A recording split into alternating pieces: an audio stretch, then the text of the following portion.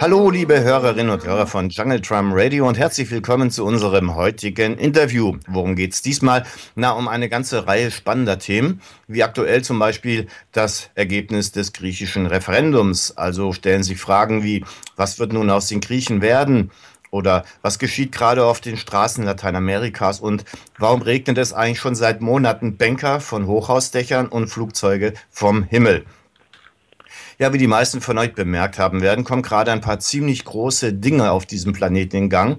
Die Weltordnung, die ändert sich und es sieht ganz so aus, als ob die Weltmacht gerade die Seiten wechselt und in Richtung Osten wandert. Eine spannende Zeit also, durch die wir euch auch gerne informativ begleiten werden. Und dies ist jetzt so eine Gelegenheit, denn wir haben einen sehr interessanten Interviewpartner zu Gast, nämlich den Autor und Journalisten Ernst Wolf, der erst kürzlich für Aufsehen gesorgt hat mit seinem Buch IWF Chronik eines Raubzugs. Umzuges. Herr Wolf, wir freuen uns, dass Sie da sind. Ich freue mich, da zu sein, ja. Dann gehen wir doch gleich mal in Medias Res und beginnen mit dem Hauptthema. Das ist in diesen Tagen ganz eindeutig das Referendum in Griechenland. Das Ergebnis steht inzwischen sogar bereits fest, nämlich 61,3 Prozent der Griechen haben kein Interesse daran, weiterhin den Schuldendienst zu bedienen. Was bedeutet das aus Ihrer Sicht denn nun konkret? Wie wird es jetzt nun weitergehen? Ja, ich glaube, dass Griechenland vor einer ganz, ganz schwierigen Zeit steht, weil dieses Referendum ist zwar ein äh, demokratisch durchgeführter Akt, aber er, er, führt auch ein bisschen in die Irre, weil er suggeriert, dass die, das griechische Volk noch ein Mitspracherecht bei seinem eigenen Schicksal hat. Das hat es allerdings nicht mehr. Das griechische Volk und, und das Land Griechenland steht seit 2010 unter der Zwangsverwaltung der Troika aus EZB, EU und IWF. Und alle Entscheidungen müssen von diesen drei Institutionen abgesegnet werden. Und es ist ganz egal, was gestern entschieden wurde. Natürlich ist es, es war auch damit zu rechnen, dass die große Mehrheit der Griechen sich gegen die Austerität äh, ausspricht. Aber all das wird keinen Einfluss haben auf das, was jetzt weiterhin passiert. Und der Rücktritt von Yanis Varoufakis äh, zeigt auch äh, mehr oder weniger nur die, die, die Ratlosigkeit der Konstellation, aber gleichzeitig auch die wahren Machtstrukturen. Weil Yannis Varoufakis war den äh, Institutionen, so wie die Troika ja heute genannt wird, ein Dorn im Auge und der musste erstmal weg. Und jetzt wird der nächste kommen, aber der wird auch nur nachgeben können gegenüber den, den äh, Vorgaben der Troika. Und die Troika wird in dieser Woche die Banken in Griechenland nicht aufmachen lassen. Es wird mit sehr großer Sicherheit einen Bail-in geben. Das heißt, die Konten von Anlegern, von Sparern und äh, das Geld von, von äh, Aktionären wird konfisziert werden und dazu benutzt werden, um die Schulden Griechenlands zumindest teilweise zu decken. Also Griechenland hat ein Bankensystem, was eigentlich klinisch tot ist. Das wird seit Wochen nur noch äh, am Leben erhalten durch äh, ELA-Kredite, also Emergency Liquidity Assistance Kredite. Und äh, diese belaufen sich inzwischen auf ungefähr 100 Milliarden Euro. Und um diese wieder zurückzuholen, werden die Institutionen garantiert anordnen, dass man einen Bail-in durchführt.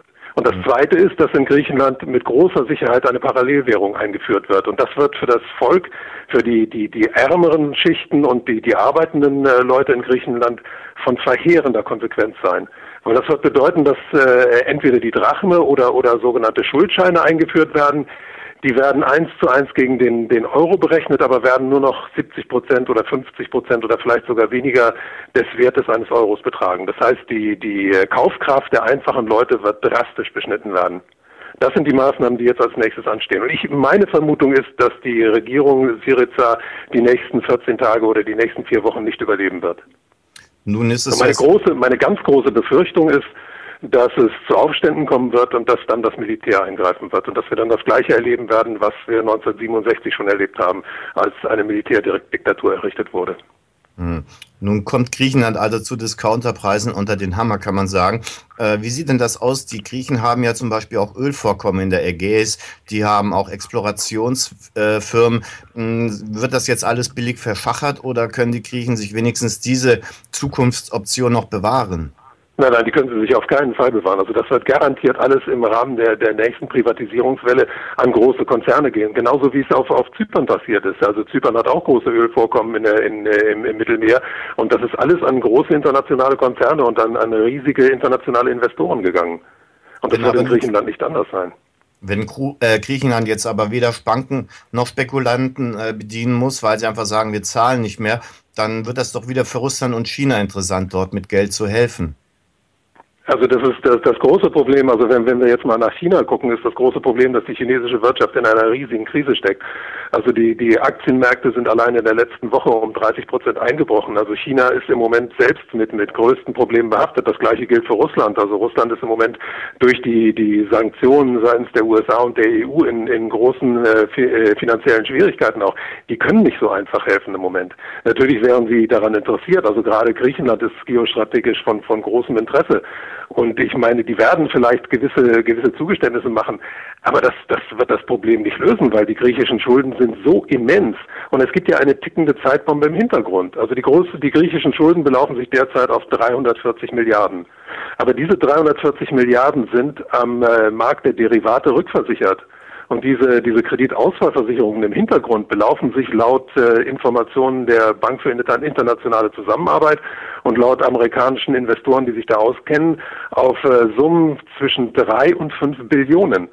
Das heißt, Griechenland, äh, äh, der, der, der Staatsbankrott Griechenlands, wenn Griechenland den Staatsbankrott erklä äh, erklären würde, dann würde das sofort zum Zusammenbruch amerikanischer Großbanken und auch zum Zusammenbruch der Deutschen Bank führen, weil die Deutsche Bank ist im Derivategeschäft ganz groß mit äh, drin. Hm. Dazu noch ein interessantes Detail am Rande. Die Wahlen oder das Referendum, das wurde ausgezählt von der Firma KKR. Und diese wiederum äh, hat in ihrem Vorstand einen gewissen General Petraeus, der ehemalige CIA-Chef, und ist in Verbindung mit der Marvin Investment Group, die wiederum äh, zu Goldman Sachs gehört. Also Petraeus ist im Grunde der äh, Angelpunkt zwischen der KKR und der Goldman Sachs. Äh, die haben letztes Jahr die, äh, die Wahlen in Griechenland noch nicht betreut. Das war vor Singular Logic. Und erst als abzusehen war, dass Tsipras mit Sicherheit der nächste Ministerpräsident werden würde, wurde diese Firma Singular Logic dann eben von der KKR aufgekauft. Und die äh, bedienen seither die griechischen Wahlen. Das mal so am Rande. Ja, ja das ist Richtung. Jetzt mal. Unglaublich, äh, ja. Ja, ein, ein weiteres Stichwort: äh, Bargeld. Verbot, Bargeldabschaffung. Warum, wann und wie? Das ist ja ein weites Feld. Ja, die Bargeldabschaffung wird äh, im, im, Moment international überall betrieben, weil ich meine, alles auf der, auf der Welt läuft über Schulden und äh, um, um diese Schulden weiter zu finanzieren, wird überall Geld gedruckt und es werden gleichzeitig die Zinssätze immer weiter reduziert. Also in einigen Ländern bekommen, äh, wird ihnen im Moment Geld abgezogen, wenn sie Geld auf dem Konto haben. Und das hat dazu geführt, dass unendlich viele Leute ihr Geld aus ihren äh, Konten abziehen und das zu Hause irgendwo bunkern. Und um Zugriff zu diesem Geld zu bekommen, äh, wird die Abschaffung, Abschaffung des Bargeldes erwogen. Und die ist ja teilweise schon eingeführt worden. Also in, in Griechenland, glaube ich, kann man keine Rechnung über 700 mehr mit Bargeld begleichen. Und, und äh, in Deutschland gibt es Pläne, ab 3000 äh, die, den Einsatz von Bargeld zu begrenzen. Aber das alles hat mit der, der unglaublichen Verschuldung zurzeit zu tun und damit zu tun, dass die nächste Bankenrettung, die erfolgen wird, nicht so sein wird wie die letzte. Die letzte Bankenrettung 2008 war so, dass die Staaten eingesprungen sind und die Banken gerettet haben. Die nächste, das war ein Bailout. Die nächste Bankenrettung wird ein Bail-in sein. Das heißt, dass Kleinanleger, Sparer und Aktionäre zur Kasse geboten, äh, gebeten werden. Und um das durchzuführen, ist ein Bargeldverbot äh, natürlich aus Sicht der Banken und der Hochfinanz sehr, sehr äh, angesagt. Hm. Man möchte ja eigentlich meinen, dass die Polizei vor allen Dingen jetzt in Griechenland Präsenz zeigt, weil ja dort äh, Unruhen zu erwarten sind. Tatsächlich aber äh, rüsten sie auch in Frankreich auf, auch militärisch, zum Beispiel jetzt nach den Attentaten auf Charlie Hebdo oder diese Gasfirma R-Produkt. Und hier in Deutschland äh, sieht man auch immer öfter Polizeibeamte mit Maschinenpistolen herumlaufen und schusssicheren Westen. Mm, das ist also eigentlich immer ein Zeichen dafür, dass jemand Angst hat, wenn er aufrüstet. Wer hat hier Angst vor wem? Ja, da kann ich Ihnen sagen, das, das kann ich Ihnen sagen. Das ist das 1% hat Angst vor den 99 Prozent weil wir erleben im Moment den Niedergang des Finanzsystems. Es wird äh, zu ungeheuren Zusammenbrüchen kommen. Es werden äh, Großbanken werden, werden zusammenbrechen. Es werden Hedgefonds zusammenbrechen. Und es wird äh, dazu führen, dass die Banken auch in anderen Ländern geschlossen werden. Ich meine, die Wirtschaft und die Finanzwirtschaft in, in Frankreich ist, ist äh, sehr marode. In Italien, in Spanien das Gleiche, in Portugal auch das Gleiche. Irland, wissen wir, ist äh, in, in großen Gefahren. Es wird also zu gewaltigen Zusammenbrüchen kommen und irgendwann wird das gesamte Finanzsystem selbst zusammenklappen. Und dann wird absolutes Chaos, Chaos herrschen. Und um dieses Chaos zu beherrschen, werden im Moment alle äh, Polizeikräfte der Welt äh, militarisiert. Es wird immer mehr auf, auf, auf militärische Intervention auch in, in, äh, im zivilen Bereich gesetzt. und es wird allenthalben aufgerüstet. Also diese Erwartung des nahenden Crashs, die nehme ich aber nicht nur ängstlich wahr, sondern ich habe irgendwie das Gefühl, die Leute erwarten auch dieses reinigende Gewitter. Jetzt in den letzten Tagen war es so heiß, die Leute haben nach einem Gewitterregen regelrecht gegiert. Könnte man das vielleicht so vergleichen, dass man sagt, gut, das wird zwar turbulent werden, aber dann können wir endlich mal einen Neuanfang starten und mit diesem bisherigen Schwachsinn aufhören. Naja klar, jeder, jeder wünscht sich diesen Neuanfang. Nur das Problem ist, dass jemand, der, also wenn, wenn, wenn Großmächte oder, oder große finanzielle Einheiten, wenn die vor die Hunde gehen, die kämpfen bis zum, zum letzten Blutstropfen, kämpfen die um ihr Überleben. Und die, die, die äh, internationale Finanzelite wird ihre Vormachtstellung, also ihre ungeheuren Reichtümer nicht einfach so abgeben.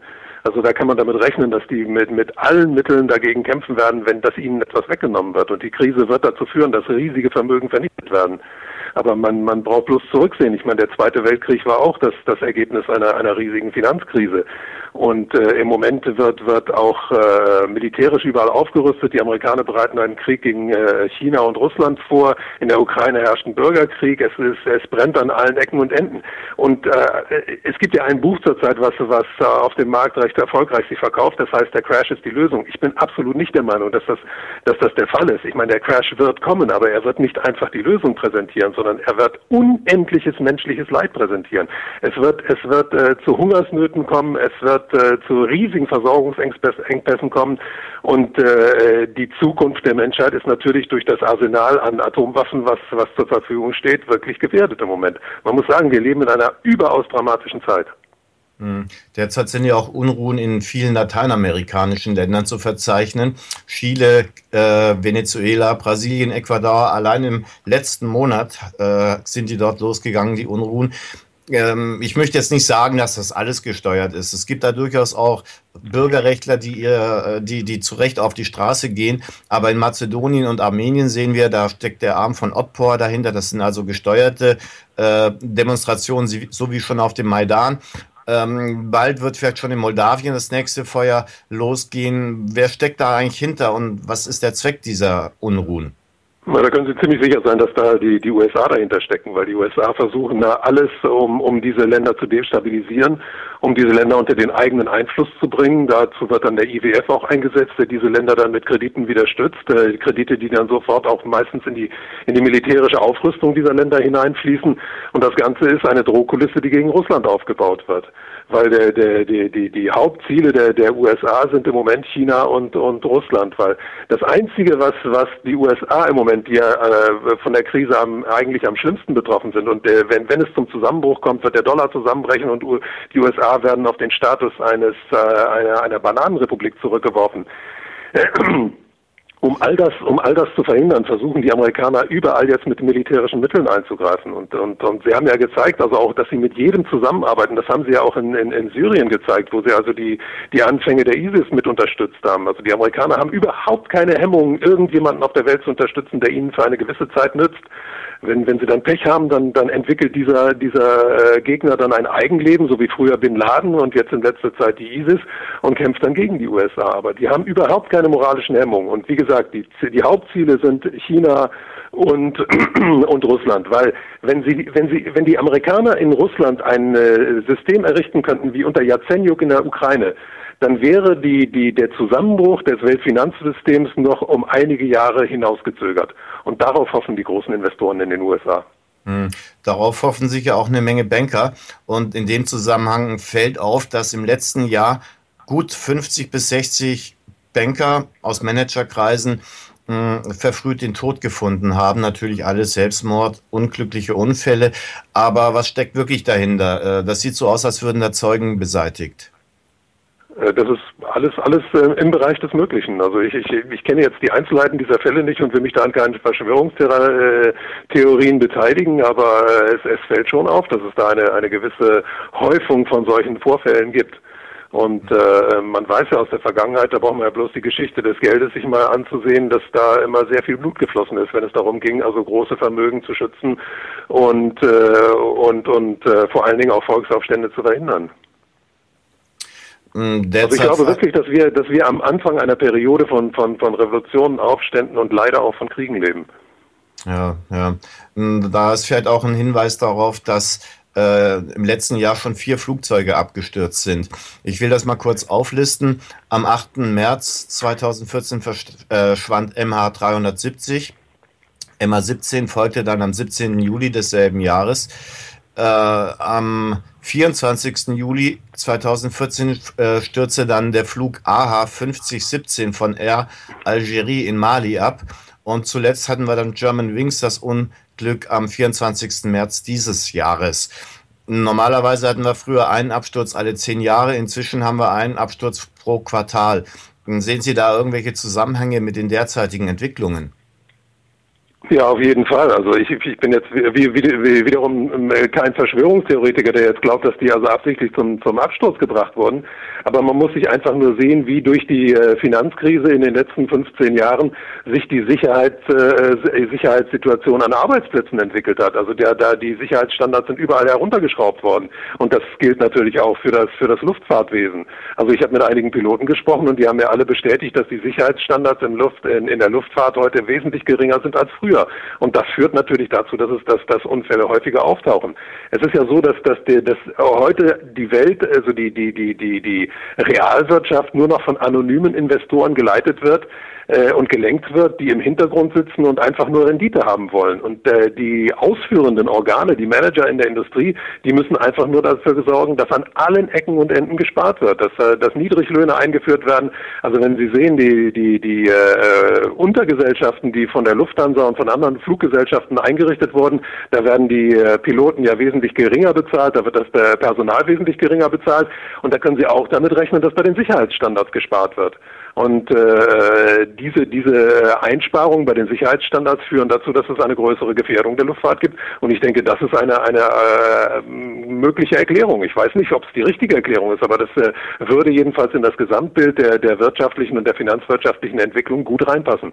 Hm. Zumindest ist es ja so, dass diese bisherigen Fluggesellschaften billige Konkurrenz bekommen haben über Ryanair und andere. Und äh, dadurch sind die natürlich auch gezwungen, ihre Standards zu vernachlässigen. Allerdings, letztlich ist ja äh, das Kernproblem hier äh, dieser Wachstumszwang. Alles muss wachsen. Wenn die Firmen nicht immer höhere Gewinne einfahren oder höhere Umsätze, äh, niedrigere Löhne, höhere Produktzahlen, dann können Sie über kurz oder lang zumachen. Vielleicht können Sie nochmal unseren Hörern genauer verdeutlichen, was für ein Wahnsinn eigentlich sich hinter diesem Gedanken verbirgt. Also dieser Wachstumszwang nimmt von Jahr zu Jahr weiter zu. Und zwar deswegen, weil äh, die, die gesamte Weltwirtschaft im, im Moment nur noch auf Schulden basiert. Also es ist so, dass durch die Deregulierung des Finanzsystems äh, der, der, den Investoren Gelegenheit gegeben worden ist, viel mehr Geld zu investieren, als sie selbst besitzen. Also da gibt es zum Beispiel die Leerverkäufe. Äh, die, die Leerverkäufe waren früher verboten. Die sind heute äh, erlaubt, allerdings mit kleinen Einschränkungen seit der Krise von 2008. Der Leerverkauf bedeutet, dass ich als Investor auch dann verdienen kann, wenn irgendein äh, ein Unternehmen äh, also im, im Abstieg begriffen ist, weil Leerverkauf bedeutet, ich verkaufe heute etwas und ich kaufe es erst später. Das heißt, wenn ich weiß, dass irgendein Unternehmen im, im Sinkflug sich befindet, dann verkaufe ich deren Aktien heute und kaufe sie dann, wenn sie zehn Prozent weniger wert sind, in, in drei Monaten wieder.